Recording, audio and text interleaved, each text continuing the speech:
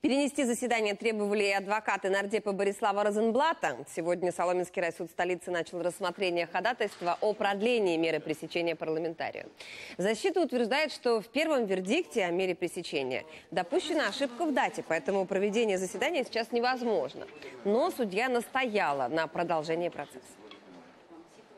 Ви нам просто скажіть, яке клопотання розглядається і який строк, Щоб ми знали, від чого захищати. Це принципова різниця. Ніде в законі не передбачено, що прокурор повинен звернутися напередодні, чи за день, чи за три в обов'язковому порядку, але не пізніше, ніж за п'ять днів.